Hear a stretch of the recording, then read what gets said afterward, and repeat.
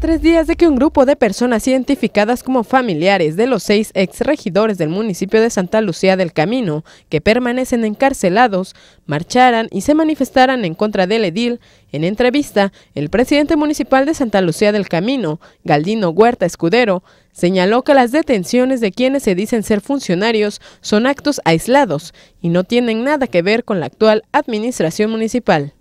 Indicó que cada acto de cada ciudadano se somete, lo que los convierte en sujetos de un procedimiento legal, por lo cual las acusaciones que se le hacen a su persona son infundadas y dijo deberían ser comprobadas, además de revisar el historial de cada detenido. Que es importante revisar un tanto la historia de política Santa Lucía el Camino. Se ha movido por intereses eh, oscuros, en donde no sabemos quiénes realmente estén atrás de cualquier movimiento,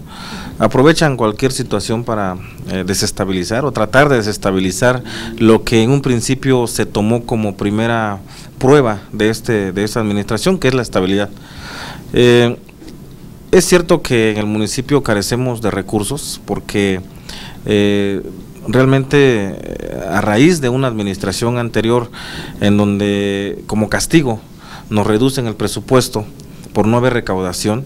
Esto genera desde luego conflicto interno de no poder cubrir eh, todos los derechos laborales que tienen los trabajadores en relación a algunas detenciones que han habido o, inconformidades que hay por parte de algunos miembros que se dicen ser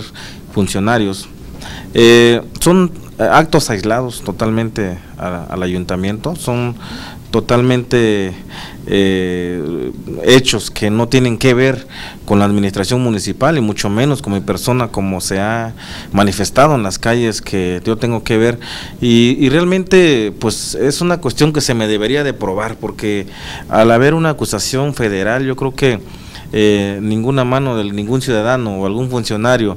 creo que tiene la capacidad de poder mover cuestiones como esas. En ese sentido yo me deslindo y cualquier persona al ayuntamiento eh, no creo que esté eh, intrometido en ese tema, ni mucho menos otros políticos fuera del ayuntamiento, como se mencionaba también en algunas mantas, que hay personajes políticos, exgobernadores, que se les acusa también de que coludidos conmigo estamos haciendo algo. Consideró que el año 2014 fue una etapa de reconstrucción del municipio, debido a que la anterior administración faltó el desarrollo y realización de obras, situación que le costó la reducción del presupuesto. Con imágenes de Juan Carlos Chiñas para MBM Televisión, informó Metzli Beltrán.